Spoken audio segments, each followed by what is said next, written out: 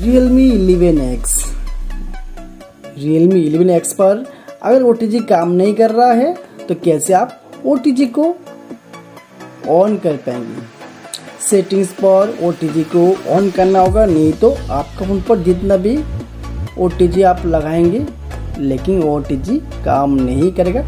तो अगर आपको ओटीजी को काम करना है तो आपको कम से कम सेटिंग्स पर ओटीजी ऑन करना होगा। तो सेटिंग्स पर ओ को ऑन करने के लिए आपको ओपन करना होगा सेटिंग्स को।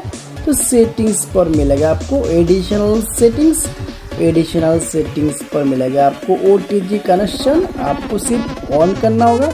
ऑन करने से कुछ भी आप यूज़ कर सकती हो। Pen drive fingerprint scanner keyboard mouse कुछ भी आप यूज़ कर सकती हो ओटीजी केबल के साथ। अगर ये वीडियो आपका हेल्प है तो प्लीज़ इस वीडियो को एक लाइक कर दीजिएगा।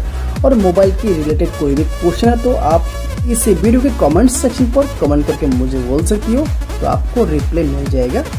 तो थैंक्स।